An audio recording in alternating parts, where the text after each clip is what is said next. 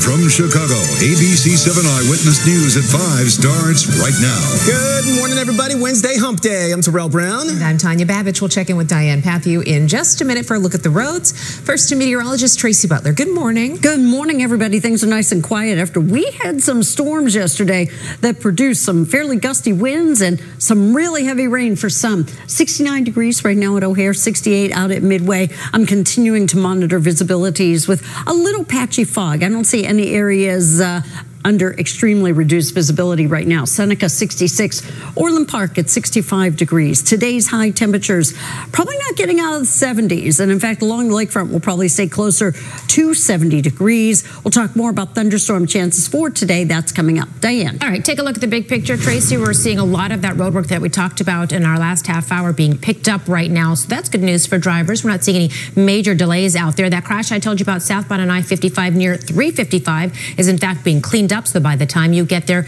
it'll be all gone. And speaking of by the time you get there and it'll be all gone, the road work on the northbound side of the tri-state, 95th Street to the Mile Long Bridge. In fact, take a look at our Tollway One camera. We actually see